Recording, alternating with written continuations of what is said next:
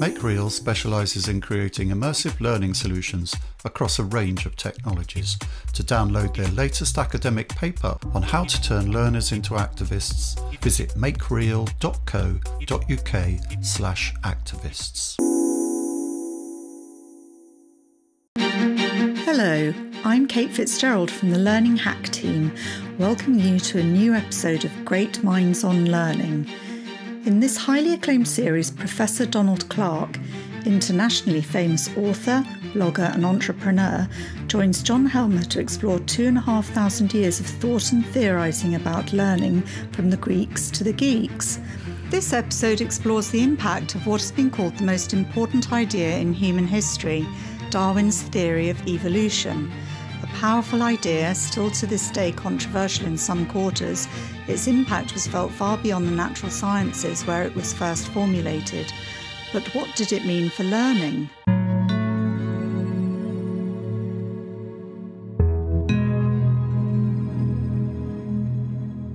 So, welcome to this episode of Great Minds on Learning on evolutionists. In Matthew Arnold's Dover Beach, the Victorian poet invites his beloved to come to the window and hear the grating roar of pebbles which the waves draw back and fling at their return up the high strand. It's actually a poem animated by a sad sense of lost sentences. He writes, The sea of faith was once too at the full, and round earth's shore lay like the folds of a bright girdle furled.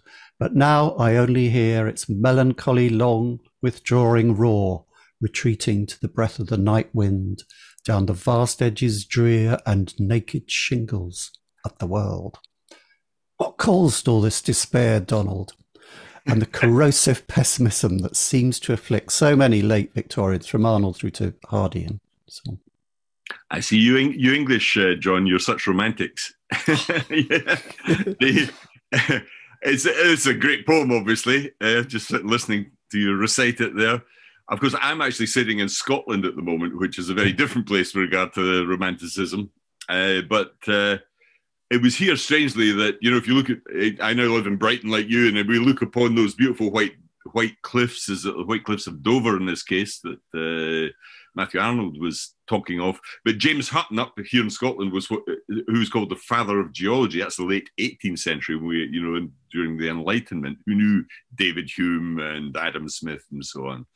And of course, it was him who really punctured the, the romantic dream of the landscape, as it were, uh, by finding out that the earth wasn't, as Bishop Ussher famously said, just 4,000 years old based on scripture, the Bible. Uh, it was actually, he discovered deep time. In other words, the rocks were like a book you could read showing that uh, time was without bound, almost endless. He, it was so deep he couldn't calculate it in his famous book, The Theory of the Earth. And then another uh, geologist, Charles Lyell, comes along and writes, uh, uh, reframes the whole science of rocks, the cliffs of Dover, as it were, and uh, writes a book called Principles of Geology, which Darwin takes on the voyage of the Beagle and regards as a masterpiece. And so the, it had already been in the air, the sense of deep time, the idea that uh, the landscape is not what you think it is. It's much older, more ancient, and came long before us as a species. And then, interestingly, down in Brighton, I gave a talk recently on this in one of those salons about a guy, a local guy called Gideon Mantell in oh, Brighton. Gideon Mantell, yes.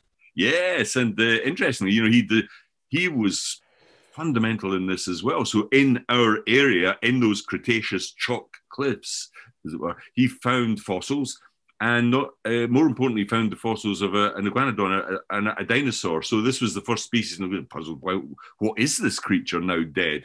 And extinction comes into play. The notion that a species is not immutable forever, God created, but something that may die off, as it were. And this opens up the whole world of science and, of course, prepares the ground for Darwin. Mm-hmm. Uh, so you've got, I mean, in a sense, Arnold's pepplish pessimism, if you want to call it that, is it's the sort of dying embers of romanticism, the notion that we are special and that the world is created for our, uh, you know, that Victorian idea that it's an aesthetic spectacle created by God for, for we as a species. That was then blown out the water. Uh, uh, I would say. So interesting way to start.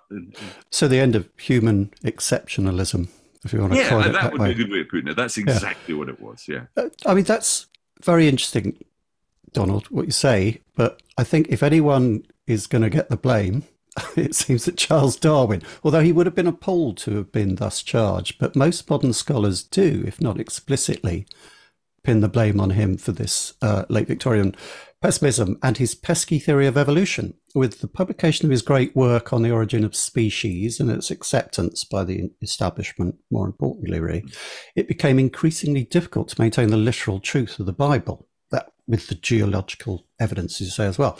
And in the process, Christianity lost a lot of its hold over the hearts and minds of the educated. Um, you know, evolution became a kind of science, in fact. The whole of science became an acid bath for Christianity.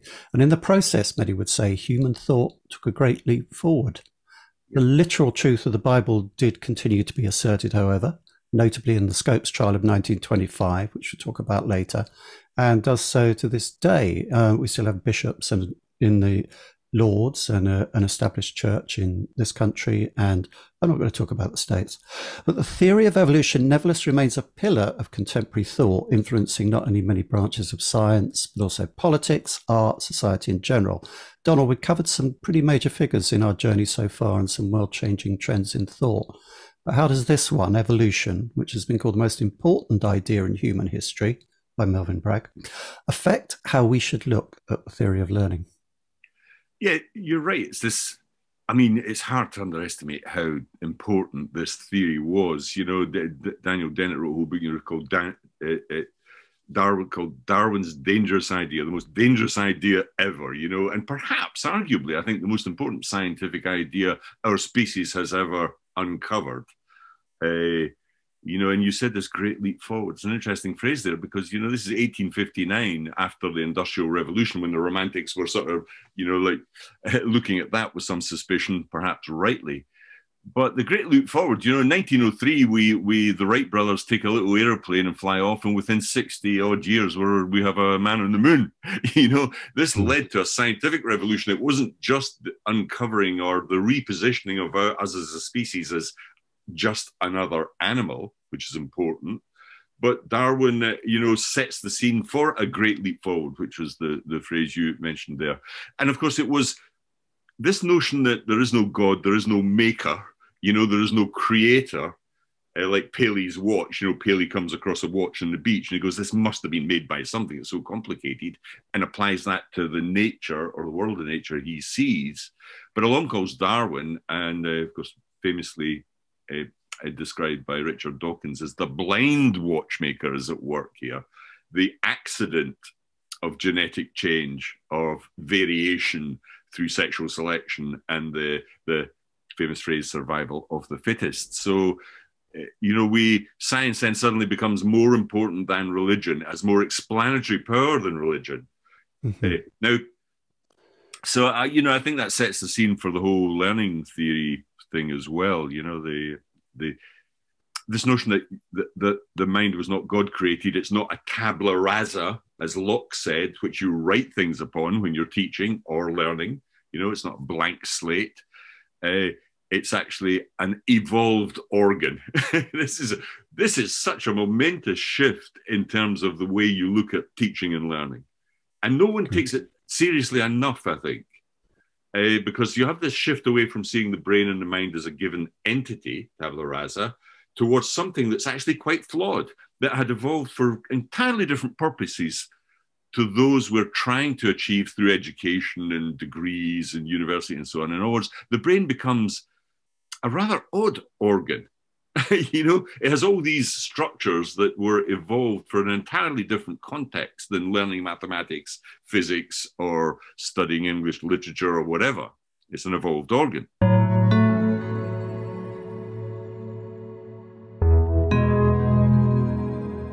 I'm beginning to get a real sense of, of why this is so important. So let's get into the weeds. Let's first look at the man himself, Darwin. Given dates 1809 to 1882, he was an English naturalist, geologist, and biologist. In, in, in a sense, he created the field of biology. He was born into money, the hunting, fishing, shooting classes, and he didn't mind shooting things, and once um, accidentally ate one of his specimens for dinner. But with an important ancestry from our point of view, in that both his grandfathers, Erasmus Darwin and Josiah Wedgwood, were members of the Lunar Society, which we covered in our episode on the Enlightenment. So came from this Enlightenment background, an enlightened background. Initially studied to be a doctor at the University of Edinburgh, but neglected his studies, wasn't interested in that, and transferred to Christ College, Cambridge, where his interest in natural history really blossomed. His actual course of study might have led to him becoming an Anglican parson, Anglican country parson with a side interest in butterflies.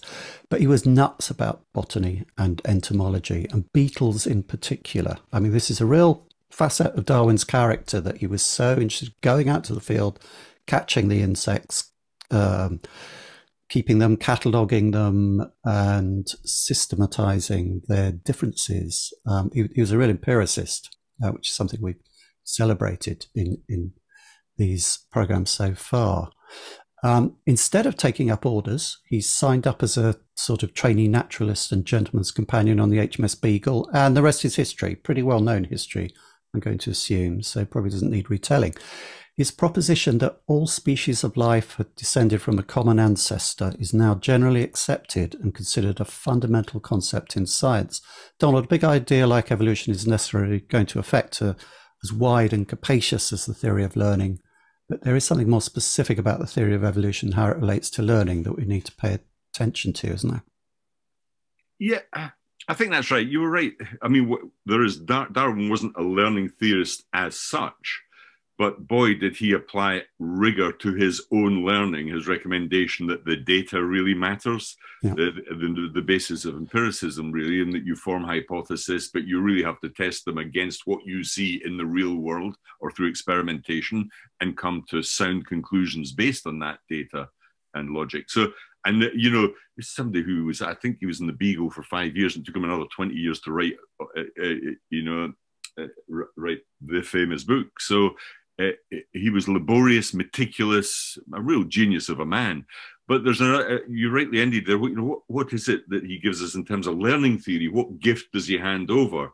And I think the big one is reframing the brain, the limitations of the brain, seeing it as an evolved organ. And there's some really concrete things here that I think anybody who teaches or is involved in learning should be possibly aware of, really. Uh, but I'm not too sure that it's taught in any serious sense, but that's what we'll tackle today. So the brain is an evolved organ. What does that mean?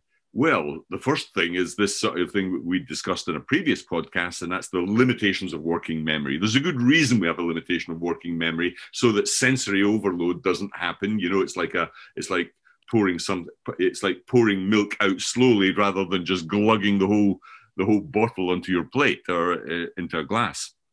Working memory means you can only hold three or four things in your mind at one time to manipulate them, like numbers. Uh, you have this sort of 20 seconds of attention as we sweep through time through sensory memory. So it's very, very limited uh, working memory. And uh, this is the problem that almost anybody who teaches or learns has. Okay, then we have uh, long term memory. Now, you might think that long term memory is a solution to that problem. Well, we just shove stuff into long term memory and recall it when we want. But again, evolution has played a funny trick there Evolution has meant that long term memory is not like the digital memory of your computer, perfect recall. It actually reconstructs memories when they come back into the brain because they have to be useful to you, whatever, you know, whether you're being hunting something down or being hunted, the sort of predator or prey, uh, fight or flight instincts we have. So even long term memory and even episodic versus semantic memory, it's quite clear that episodic memory came first in our evolution and is primary. This notion that we remember, you know, almost incidents or almost, it's almost like the replay of video in some sort of way, mm-hmm. as opposed to the recall of, let's say, Matthew Arnold's poem, uh, Dover Beach, which is semantic memory. That came much, much later. So in teaching and learning, you have to be very aware of episodic memory and not and not rely wholly and utterly on semantic memory because it's so difficult to learn and retain stuff. And of course, there are other features of the brain that are just so obviously evolved and flawed. Uh, apart from the memory stuff, you know, we do even in memory, we get dementia and Alzheimer's. We, you know, Alzheimer's, we all start to forget more stuff as we get older, as we both know, John.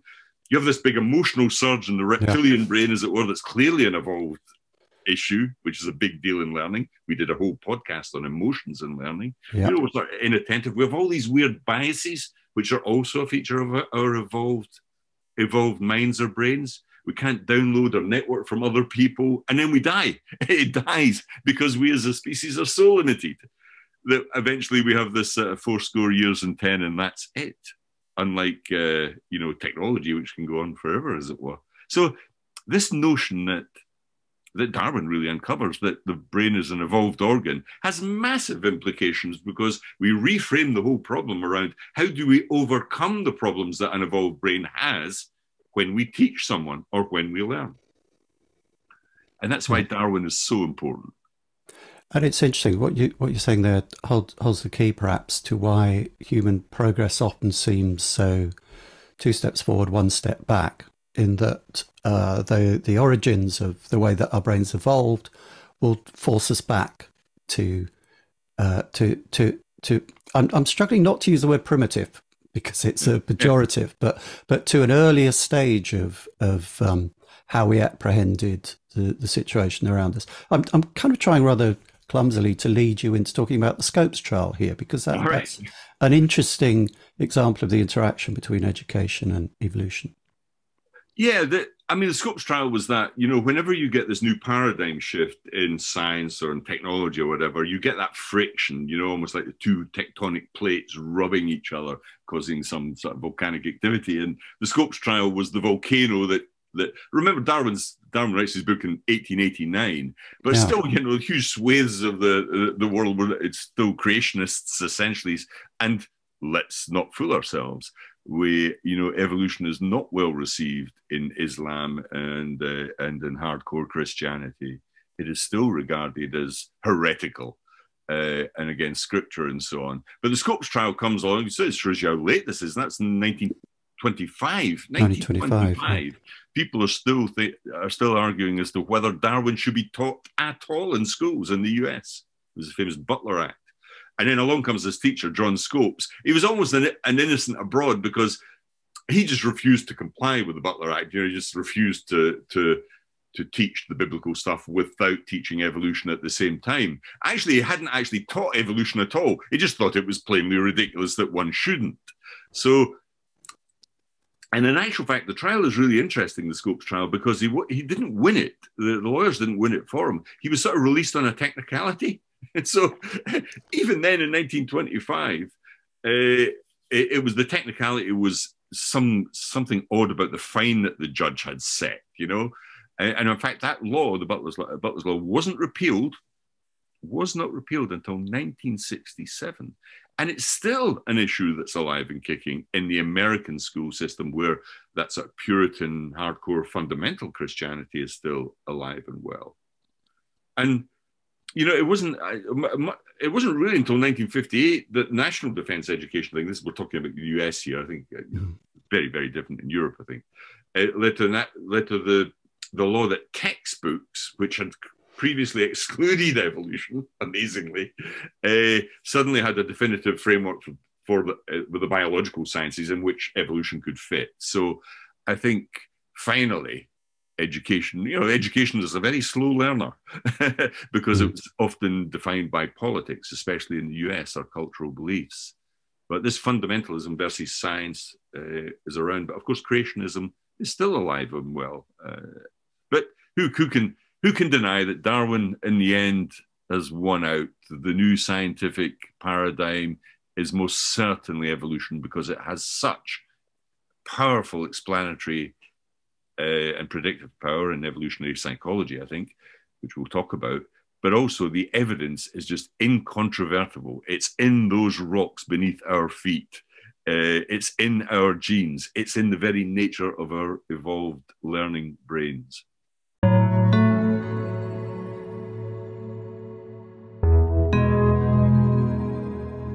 They don't come much better known than Darwin, but our next theorist is someone completely at the other end of the fame scale, so to speak, which can be a bit arbitrary. It's quite possible that very few of our listeners uh, will ever have heard of him. I certainly hadn't. And yet you say, Donald, that he may be one of the most significant learning theorists ever. James Mark Baldwin, born 1861, died 1934, so spanning the 19th and 20th centuries, was a philosopher and psychologist born in South Carolina and educated at Princeton. He was one of the founders of the Department of Psychology at Princeton and the University of Toronto, having studied at Leipzig with William Wundt, the first person ever to call himself a psychologist. So we're kind of back to um, the, the, the time when we were talking about Pavlov and the and, and the the origins of, of psychology as a, a, discipline. And Wundt, of course, one of the fathers of modern psychology. Um, Baldwin did his bit to spread this into uh, the US and, of course, Canada, part of that time of the British Empire, so to speak. Where Baldwin figures in the story of evolution is through something called the Baldwin effect. Now, Donald, I had a certain amount of difficulty getting my head around this while researching for the episode, so I'd ask that you explain it right. Well, you know, and if I got difficulty, I'm not that bright, but a lot of people out there are probably the same as me. I'd ask that you explain it rather slowly and carefully for the listeners because it really is important for the picture we're building up here of Darwinism and its effect on learning. The Baldwin effect, Donald. Okay, the Bald, and I'm a huge fan of uh, James Baldwin, and I, I, do think he is one of the most significant learning theorists in the whole 200 odd that we're covering in these podcasts, John. Uh, because, well, he, you rightly said he was a psychologist, and he does something uh, quite interesting. He takes learning as a concept and puts it into evolutionary theory as a sort of, you know, like a caveat almost, or contributes to evolutionary theory post Darwin. And so the Baldwin effect itself is, eh, I mean, it's fairly simple when you when you when you sort of, it's one of those click things. Once you get it, you get it. The idea is that we have learning brains. Okay, so we have learned the behavior. Uh, most hardcore evolutionists would say it's only your genes, and then the effect which selection, namely breeding, uh, has sexual selection, that creates a, a, new set of genes, some of which can be damaged or changed. Uh, and so within this panoply of variation, the, those that survive and go on to breed more people take those genetic traits with them. So in a sense, the body is just a vehicle for your genetics. But along comes Baldwin, and this is not Lamarckianism. So Lamarck uh, uh, claimed that acquired characteristics, in other words, uh, you know, the giraffe has a long neck because it's constantly stretching up to the leaves, and then mm. that just gets somehow captured in genetics and carried on to the next. So giraffes' necks get longer and longer. This is not what Baldwin is talking about. So let's focus on the word learning for a minute, okay? So what he says is that there's some people genetically may be just better at learning. You know, you suddenly you have a gene that makes your memory or working memory slightly better, and that uh, that clearly has happened in evolution because uh, semantic memory has developed, different types of memory have developed to cope with different circumstances. So there are these opportunities where genetics creates the learning brain, but the learning itself creates these conditions for survival and therefore breeding and therefore the carrying on of whatever genetic legacy you've got. Okay. So this places learning into this bigger canvas of evolution Okay. And Daniel Dennett uh, described it as a skyhook. It's a funny sort of thing. You know, it's this little pool of activity where if you learn enough, you increase your ability to find a good mate and therefore your genes are more likely to survive than a non-learning person yeah. or who hasn't adapted through learning. So learning suddenly becomes an incredibly important sort of phenotype feature mm-hmm. that helps you in the process of sexual selection to get on in the world or kill more, uh, you know, Kilmore uh, uh, Mammoth and uh, you know Pink Caves, or you know, so you can see how all these other features of evolutionary psychology that that people uh, have written so eloquently about suddenly become incredibly important. Status, but you might learn to become a more status-orientated person. Uh, all sorts of odd things in our culture seem to be explained by this. So the Baldwin effect is is that concept that there is more to evolution than just this genetic killing people and not killing them, and your spe- and your particular gene surviving and your gene pool uh, moving forward in that trajectory. There are these opportunities where learning comes in and shapes evolution quite cleverly. But to be clear, it's not the content of what you learn; it's kind of the the the, the, the mental system, the, the the learning muscle. So it can actually evolving. two things that's that's a very good question. It's the, the sort of learning muscle. Yeah. So if you suddenly genetically have this little capacity to learn better, that mm-hmm. gives you significant advantage in terms of your ability to breed. right. uh, so that's one aspect. But of course, the content comes in there because it might be the fact that. Uh, you know, 50,000 years ago, you were particularly good at spotting the anatomical features of, uh, of a lion and that you learnt to paint a line beautifully on the caves uh, uh, in Chauvet, and that gives you huge status as an artist, let's say. Yeah. Uh, so it, it, sometimes can be content, it's sort of tied up with content in a way, but you learn the learning of content that gives you the advantage that allows you to your genes to continue. Uh, it's quite a subtle thing in many ways, but quite obvious when you get it that the, this may very well be quite important. That learning in particular because that's basic to everything. It's basic to all cognition, as it were. May there, there are, of course, things that, you know, like physical strength that obviously evolution has shaped. Yeah. Uh, the physiology of people, but it would be bizarre if it hasn't shaped cognition. It shaped the bodies and the shapes we have, but it didn't shape cognition. That would be totally bizarre. And of course, uh, as we know, it, it did shape cognition. Now, the, the Baldwin effect itself has had a big resurgence. Aldous Huxley himself uh, I, I believed that it, it, was right as a theory. And then it's had a, a second life because Jeffrey uh, Geoffrey Hinton, who's a very famous machine learning, the guy who invented machine learning, really, reinforcement learning and so on, those people have started to look at that theory and see it. There's a funny thing in AI, which is evolutionary or genetic algorithms. These are algorithms that breed and produce more options and they've been used okay. in learning. I'm working on a big project where evolutionary algorithms are producing lots of potential pathways for learners depending on their progress. And so it rec- the next thing they recommend is the optimal, almost genetic pathway in learning for them. Mm-hmm. And they're quite powerful, these algorithms. So it's had a second life through AI. Daniel Dennett was a big fan of them. So uh, in, in his book, Consciousness Explained, and also in uh, you know Darwin's Dangerous Idea, those two books, he describes Baldwin's theory is a sky crane, this sort of thing, that our brains hook, almost hook them, have these sky cranes which are unsupported. You know, it's like they hang in the air, but they pull us forward. In other words, our ideated or learning is a mental act, as it were, but it's hmm. incredibly powerful in terms of giving us some evolutionary advantage. And your people, there are a whole stack of books now. You know, evolution and learning was one. Uh, that's the, the, the sort of reappraisal of the Baldwin effect by, way of Depew. So there are a number of books here that are out showing that this was indeed powerful, and it's central to learning. The just to repeat myself a little bit, this puts mm-hmm. learner learning center center stage in the evolutionary process. And some people, Deacon Deacon actually thinks that the Baldwin effect is responsible for this real acceleration or rapid progress, specifically in language, mind and language, if you put the two together because that puzzles people. How did the language come about? It suddenly comes from nowhere, you know, but it's yeah. clearly, you know, an amazing phenomenon no other species really has. They have very primitive signaling as opposed to language. But uh, some people think it was just one genetic click. That's the evidence doesn't seem to support that.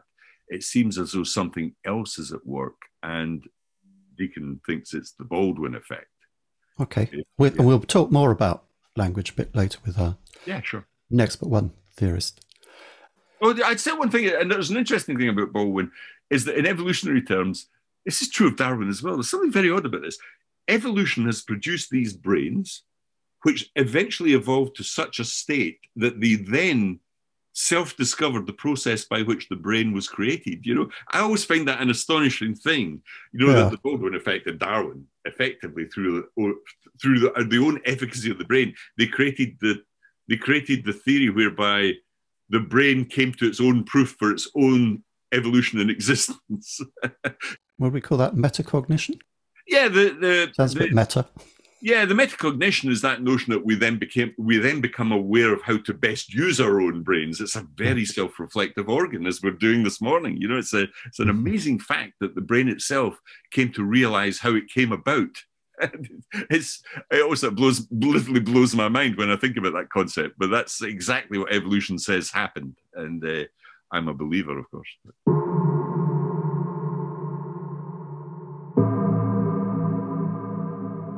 We're fast forwarding to our own century now for our next two theorists, who are contemporaries of you and I, Donald. Uh, hashtag OK Boomer.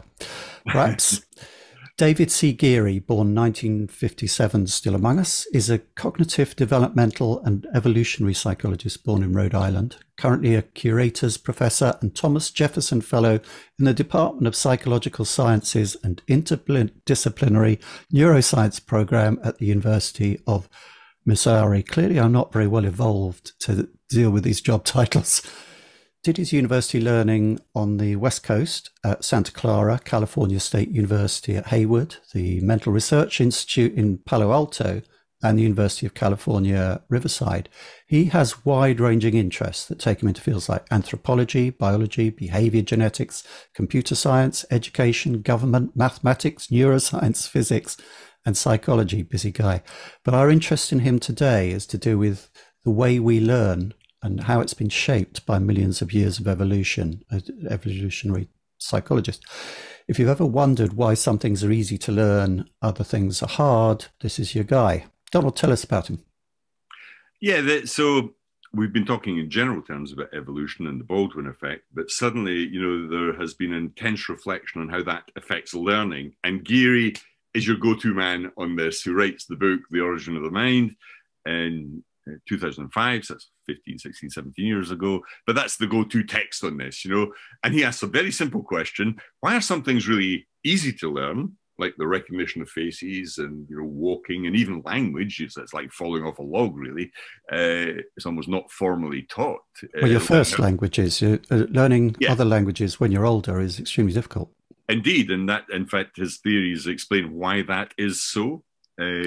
Because you're more receptive at a very young age in terms of the plasticity of your brain and so on. But uh, you know that's right. That, that's right. It's a, a good example uh, of Geary's explanatory and prophetic power.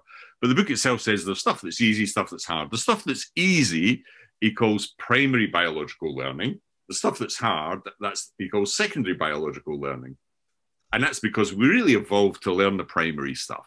So, what is that primary stuff? The primary biological learning. That's how, that's how he described it. That's all your sort of folk knowledge and all the sort of abilities you have as a young child. Uh, we've just mentioned language. So, you learn to speak and hear your parents, your friends, and other people almost automatically. You know, in fact, you know, if you're the child of an immigrant, you actually pick all this stuff up from your peer group automatically. You're not taught by your parents at all. You just like naturally pick it up and you speak the accent and language of your peer group. So primary biological knowledge has a whole lot of competencies from the evolved cognitive domain. And they're really easy. You don't really have to teach them much. The really interesting thing is all the stuff that's hard, and that's almost everything you come across in school, university, or academic education. That's the knowledge and abilities that are acquired through a combination of formal and informal learning, you know, through education and so on. Uh, so primary learning is stuff we're primed to learn. It's really easy, but that's the foundation. The primary stuff is the foundation for secondary learning. Without primary learning, it's an important point, you don't have secondary learning.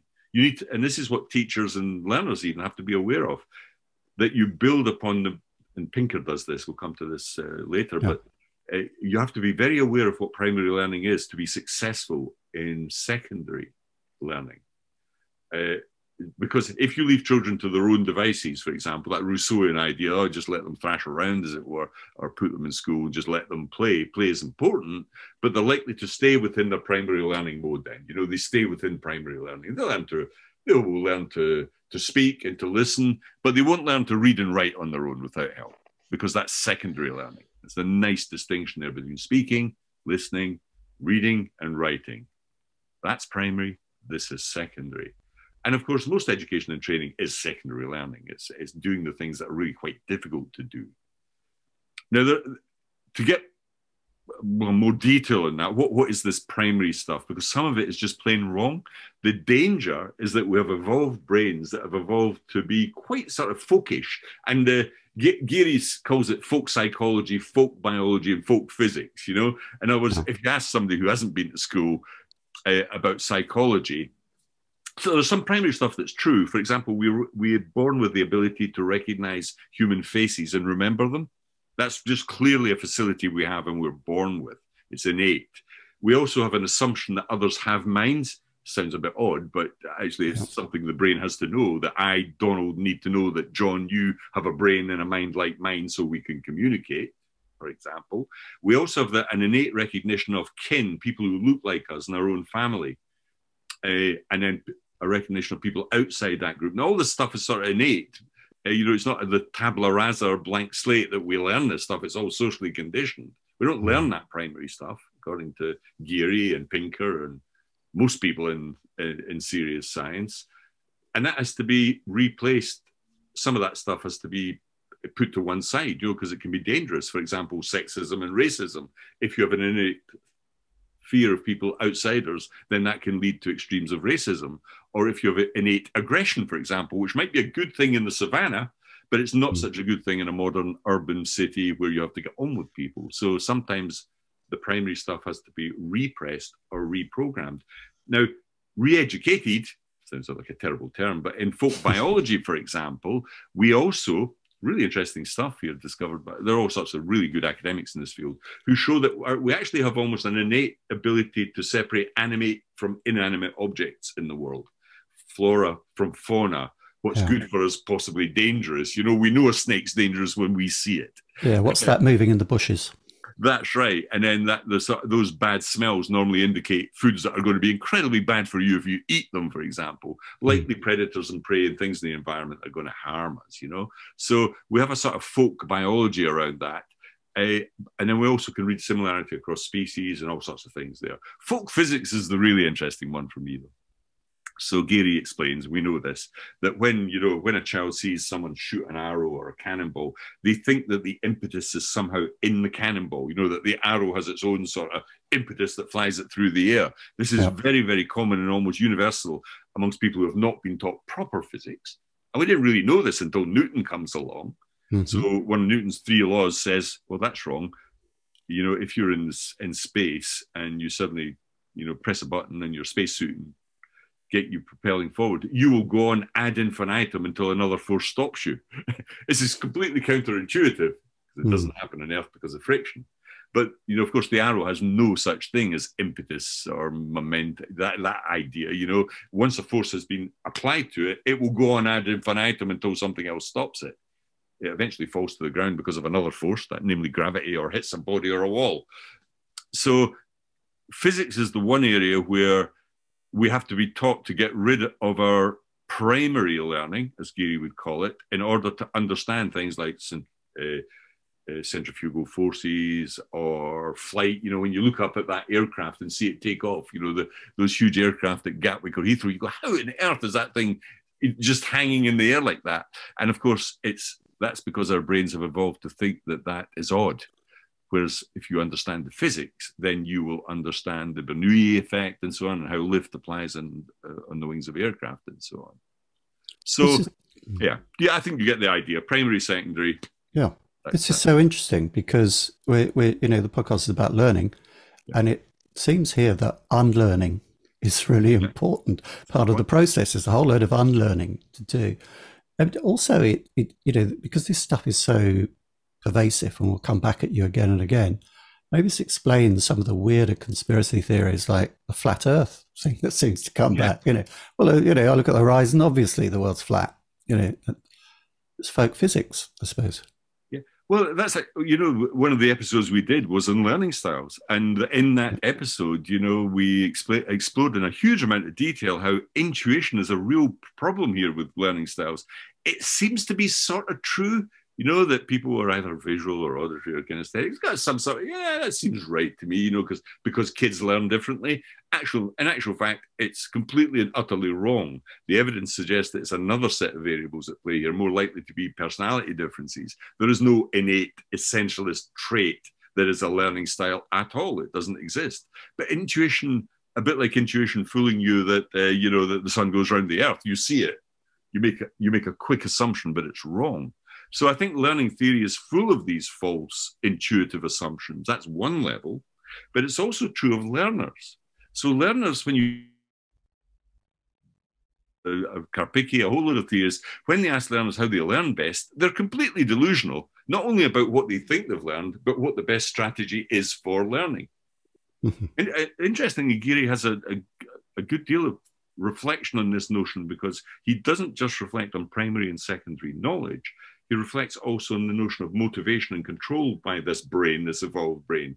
He says once you understand the evolved brain as seeking control, so you know, so kids, young kids, for example, have motivational biases towards play and other other kids, which makes it incredibly difficult to get them to sit down and do mathematics.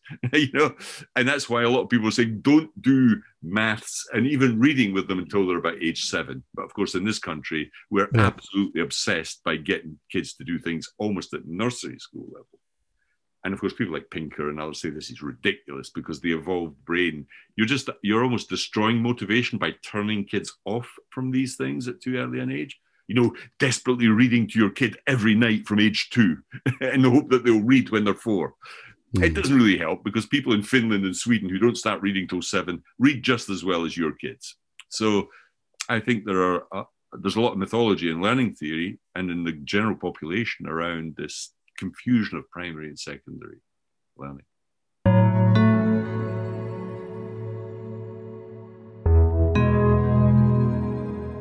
Steven Arthur Pinker, born 1954, is a Montreal born cognitive psychologist, psycholinguist, popular science author, and public intellectual.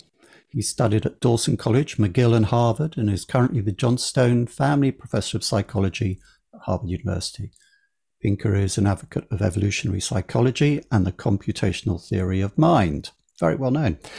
He is also the author, among many justly celebrated works, of a 2011 book, The Better Angels of Our Nature. And if you ever find, dear listener, that the accumulated effect, accumulated affect, I should say, of appalling and worrisome news headlines causes you to despair of the human race, if you find yourself, as I occasionally do of a morning, shaking your head and karaokeing into your cornflakes the words of that extremely gloomy Nick Cave song, People They Ain't No Good. Well, this is something, someone you ought to know of if you don't already, because the better angels of our nature proves through data and a compelling amount of historical evidence that though we might not think it, the human race is becoming less murderous, less violent, less disgusting and horrible over time. Personally, I'm glad to know this but it has led to Pinker's being portrayed in some quarters as a sort of Dr. Pangloss for the age. The reference being, of course, to the tutor of Candide in Voltaire's novel of the same name, who insists throughout, despite all evidence to the contrary, that we are in fact living in the best of all possible worlds. Donald, I'm glad I got that off my chest, but it's not really relevant. It's not. No, no. It's not at all why we have Dr. Pinker on the list today. So please restore our focus. No, in a sense, I think it's entirely relevant you know, Pinker, like Darwin, is a scientist, an empiricist, and it's not what Pinker thinks, it's what the research says. And Pinker is, you know, arguably has the, the chair at Harvard, maybe the, the most best known, but also one of the you know most important academics in psychology alive. Uh, and he's an evolutionary psychologist, which is why he's here. He absolutely believes that the brain is an evolved organ and that evolutionary psychology is, has huge explanatory power. And his, his most famous book, perhaps, is The Blank Slate, which is an argument against Locke's tabula rasa. So that's important.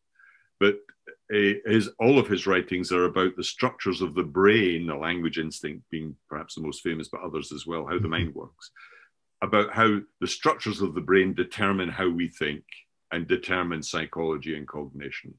Okay. Now, to touch on your Panglossian thing for a moment, I think the reason he gets this reputation is he's written a book called Enlightenment Now. He's an Enlightenment thinker and he's yeah. written books on violence, progress, the importance of reason, and so on. Uh, but he's entirely in that, and that that's what came out of the Enlightenment on the scientific route. Other things like Marxism and all sorts of other things we'll discuss. Indeed, evolutionary theorists come out of uh, come out of Enlightenment thinking as well, or the the pursuit of science, which is what Darwin did. But to come down to Pinker very specifically, evolutionary psychology. He's a Chomskyan. He believes that language, we are born with the ability to learn our first language, the point you made at the beginning, John, mm-hmm. quite rightly. And it, this doesn't happen by accident. You know, we have evolved now to learn language. The brain seems to have the capacity to pick it up very quickly so that we're grammatical geniuses by age three. This was this is a bit of a puzzle because there's not enough data hitting us uh, from our parents or limited environment or siblings to make that possible. So there must be something else at work here. And of course, Chomsky thought there was deeper structures in the brain, as does Pinker, and has written several books on the subject. But this has a massive impact when you're teaching and learning because I think they're right. Myself, a lot of people would disagree here. So he he's in the language instinct, which is I think the book that's most relevant to people in the learning world. And the, he the really he demolishes some of the old myths, a bit like the learning style stuff, which he has no time for either, of course. The idea that grammar, for example, needs to be taught in schools, he thinks is plainly ridiculous uh, because it doesn't actually help you speak or write better to be honest. It, it, it's already a given. It's part of the way we deal with language.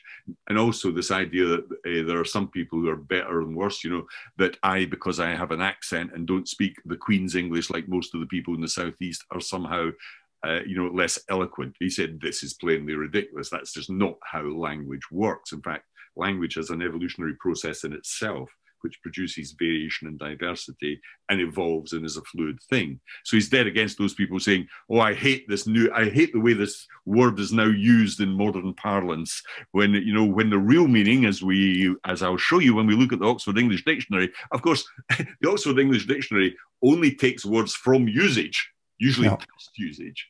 It's not the source of all knowledge on meaning. It's the other way around. Usage, how we use words in the real world, is the source of meaning.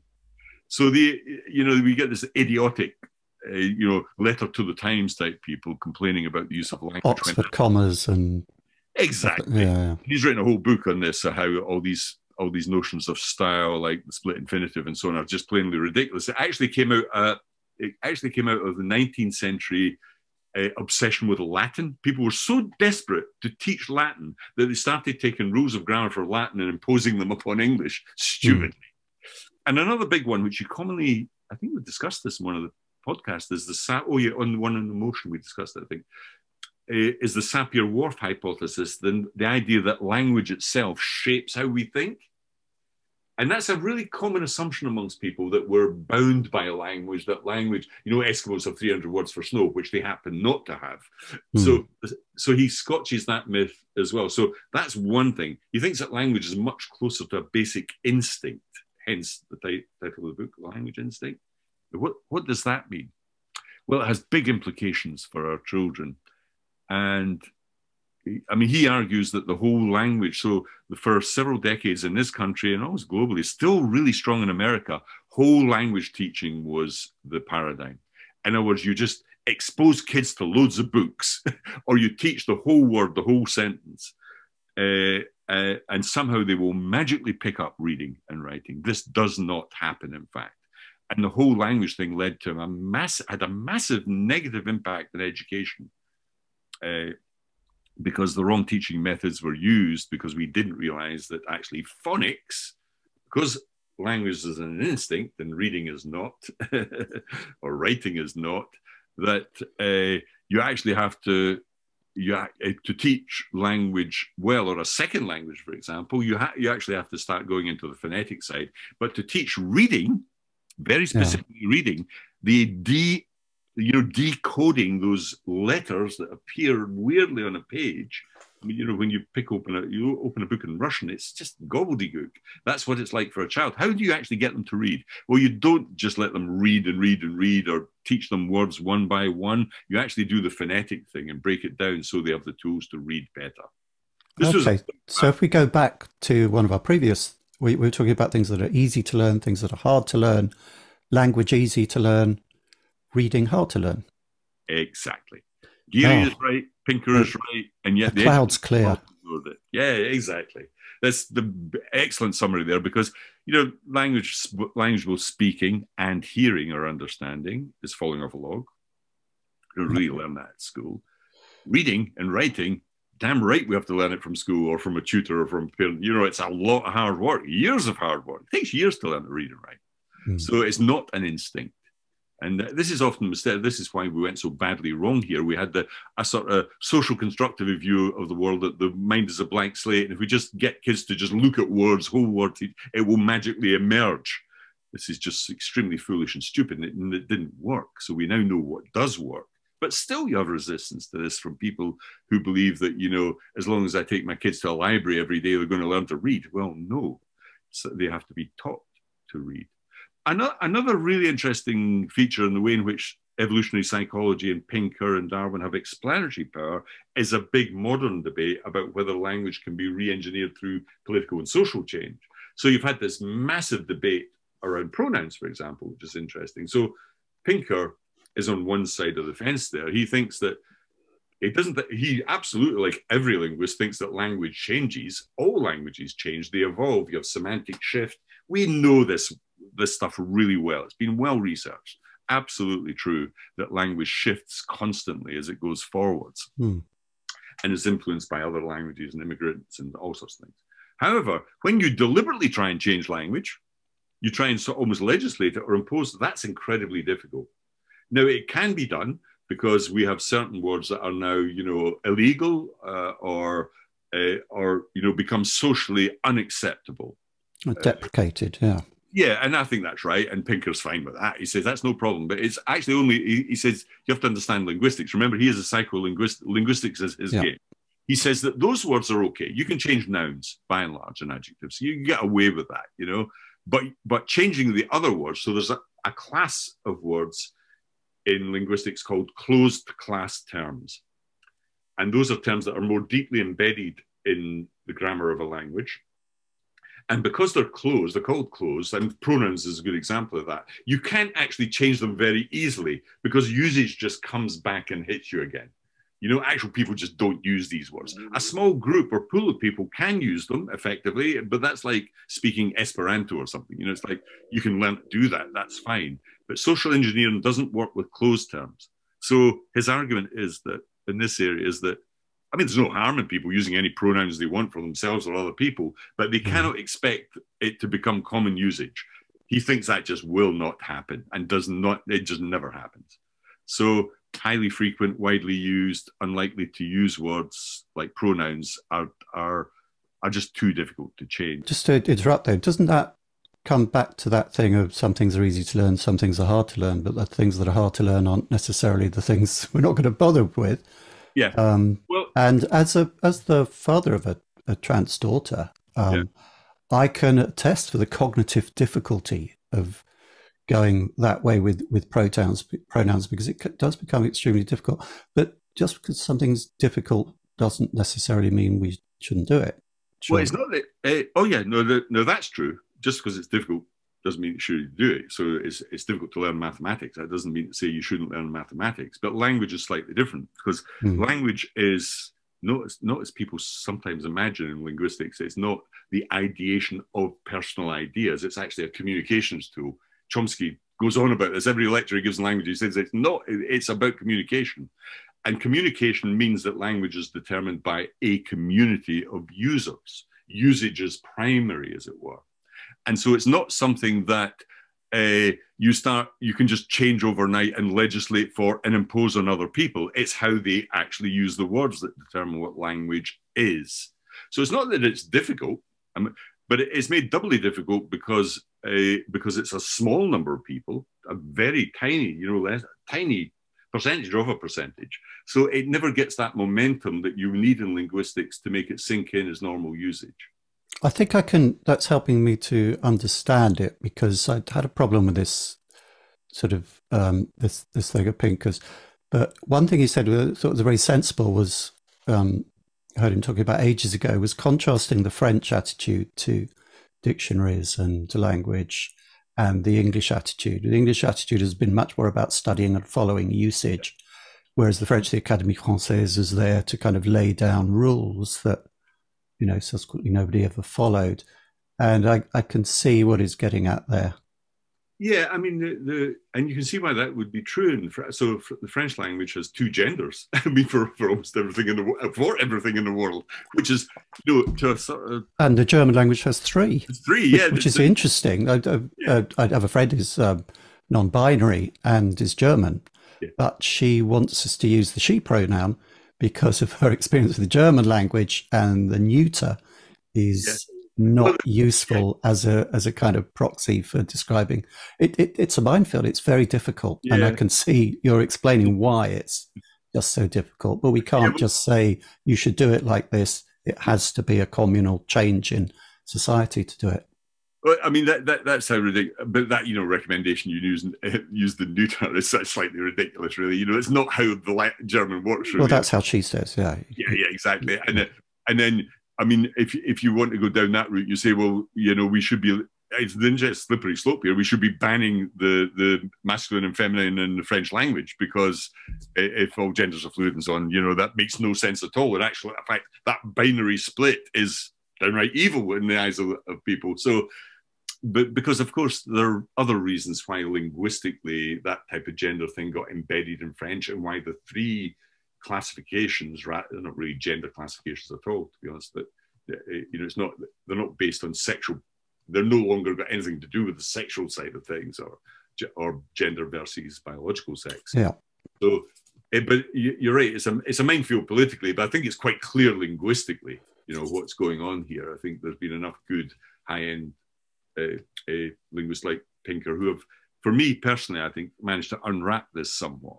And okay. you know, Pinker is a liberal guy. He's definitely not against any of this stuff, uh, and he's quite happy for people to use and use language as they will. But he's he's he said, "Get real. You're not going to impose this on other people who don't use those words." and because it's just not going to happen you know that it, it's almost a scientific fact for those linguists so let's move on now from this um, slightly troublesome area. yeah, yeah. I mean, it's worth pointing out actually that uh, I think Geary, um, one of his main interests is in sex differences. Which yes, is, yeah. I mean, there. But as I say, we'll, we'll move along.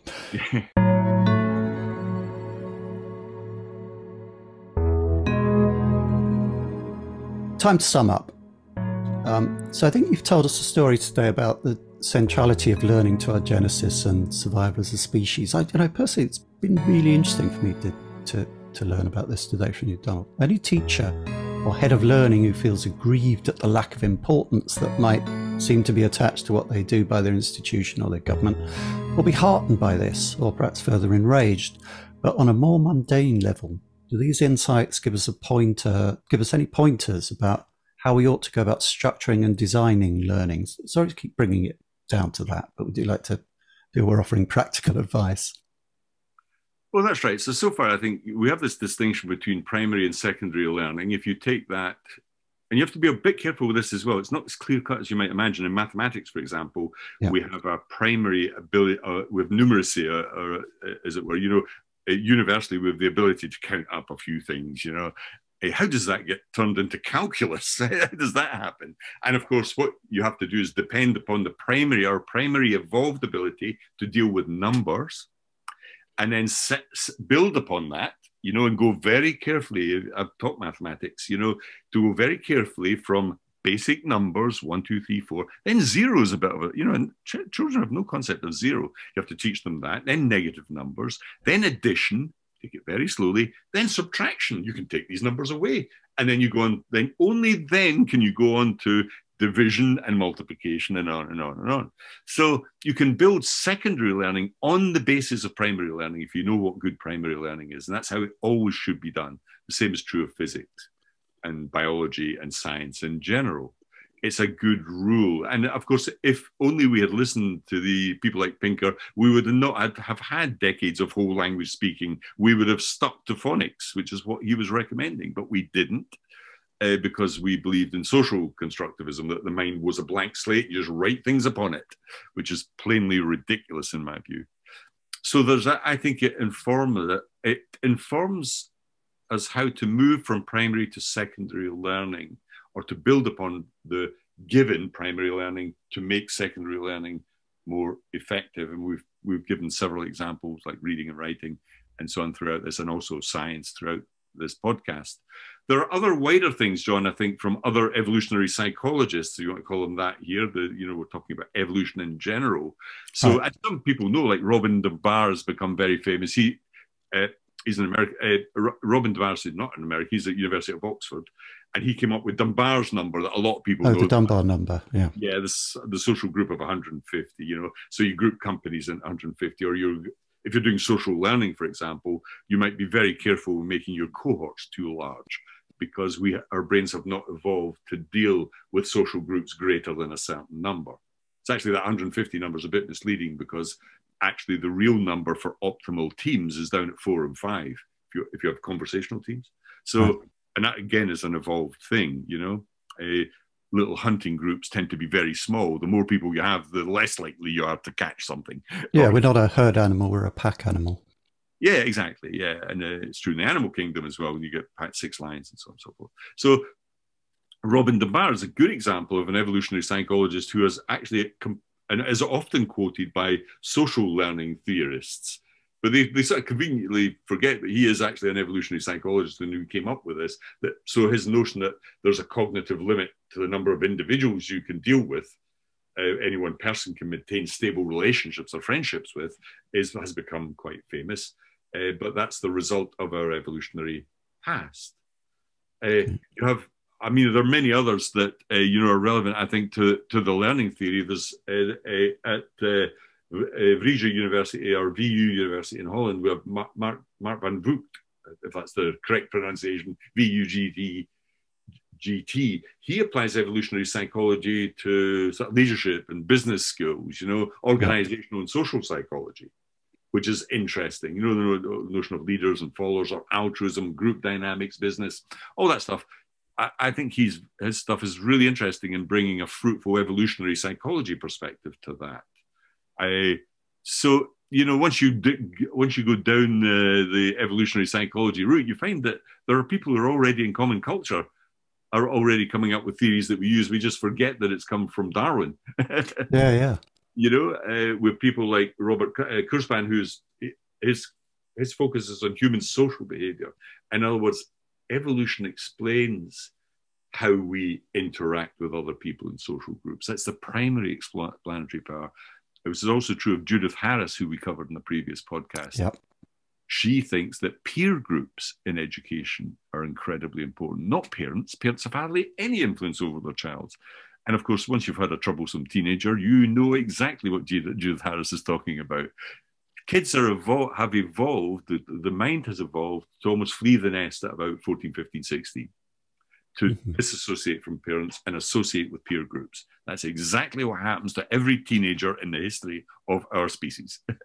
and uh, of course, it comes as a puzzle to parents who think that the mind is just a blank slate, and if only I tell them to do their homework every night, they're going to do it, which they never do. So we have social behavior being explained by Kurzban and others, uh, people like people like uh, uh, Robert Trivers, he looks at this very specifically at parental investment, reciprocal altruism, and others. How is it that we can be nice to other people? Why is that so? Well, there's, it's actually quite a good evolutionary trait to have a communal altruism because you scratch my back, I scratch yours.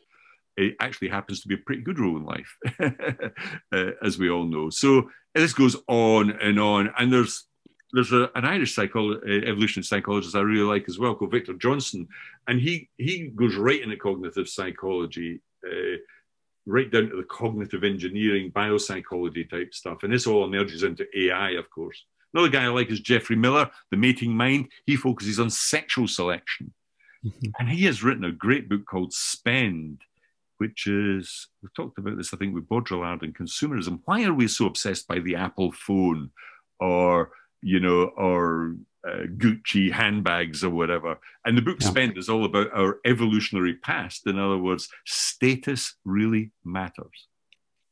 Status really matters, and boy, is that true. I mean, it's just clear as clear as day in the world of consumerism that the the things you buy, the clothes you wear, the brands you're associated with. This is all evolutionary driven. It's not a rational thing at all. We're just these dumb, stupid apes that like to show off. and it's a great book, Spend. His, his real book, The Mating Mind, is, is a serious 2003 book, is a serious book about sexual selection and so on. Yeah. So they're all, they're all panoply of people. It opens up a whole world for you, this evolutionary. So if listeners have been particularly interested by this topic, there's plenty of them to follow up on. So, Donald, our status is now that we're at the end of our allotted time slot. Um, after this, perhaps we all feel like rather less dumb, less stupid apes, um, although we have a, a, keen perception of how our dumb, stupid apeness still continues to interact with our desire to learn and learn more. And anybody who wants to learn more about learning, keep tuning in to Great Minds on Learning. Thanks a lot, Donald, for that. Thank you very much, John. Great Minds on Learning comes from the Learning Hack team and is produced by John Helmer. Sound editors by Isaac Peacock. Social media by Jay Curtis. Graphics by David O'Connor. The podcast is based on a series of blog posts written by Donald Clark, and we'd like to thank Donald for his kind collaboration in this project. Next time, Donald and John explore the power of play with an episode on games and gamification in learning. Join us, won't you?